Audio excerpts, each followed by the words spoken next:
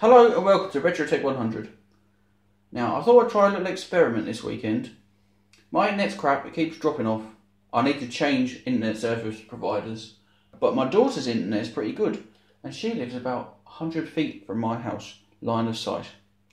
Now, I wondered if I could get away with using one of these to send the signal from her house to mine. It's a Netgear N300 wireless Wi-Fi range extender. Cost me £20 and I'm going to do an experiment to see if it will reach. Now I don't know if it will work. It's only a little unit. It has got two aerials and I do have an excellent line of sight to her house. So what do you get in the box? Let's have a look.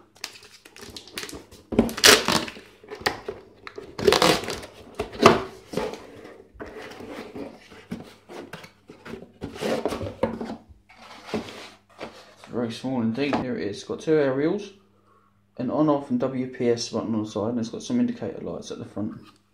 It's a standard British plug. Get a quick start guide and some sort of warranty card I'd say. So I ponied up for this one because it had Ethernet port on the bottom. I've seen others with more than one or two. I could have got it from Amazon. It's £15 on Amazon, but I got it from a local store. It was 21 quid. And I'm impatient. I want to see if this worked now so let's see if it works. So my target for Wi-Fi reception is that house here. This one, right ahead of you. By Google Maps it's 131 feet, but by as a crow flies it's about 100 feet. So there's my house. And my target is dead ahead, right here. I'm going to see if this little guy can do the job. Let's go and set it up. I plugged the Wi-Fi repeater into an extension cord and put it near a window with line of sight to the target so I could pick up the best reception. Once you've plugged in the Wi-Fi repeater you need to go and look on your wireless networks and click on the Netgear EXT so you're connecting to the wireless repeater. Type in the address that's given to you in the quick start guide. It'll take you to the new extender setup.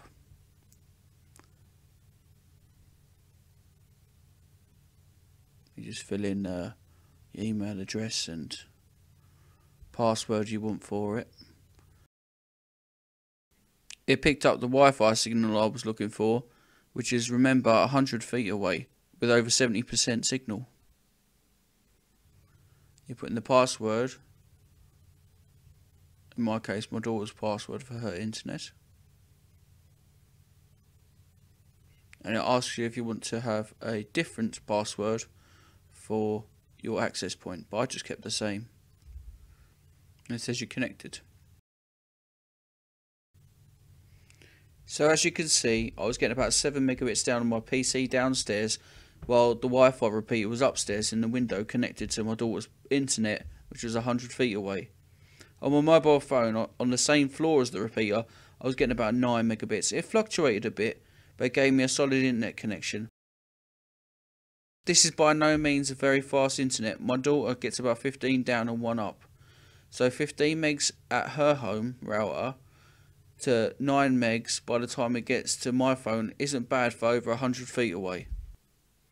This is not what this little Wi-Fi repeater is designed for, but I think it did a pretty good job. If you've got sketchy internet like me, it might be useful for you. You could share from a kindly neighbour that's got internet and lives in a house a bit further away than you could, might be able to pick up with your laptop or phone. I could have used an outside Wi-Fi antenna, but for me, having the router built into the little box is a big bonus. It lets everybody get on their mobiles and tablets. This has been RetroTech 100. Please like, comment and subscribe, and I'll see you next time.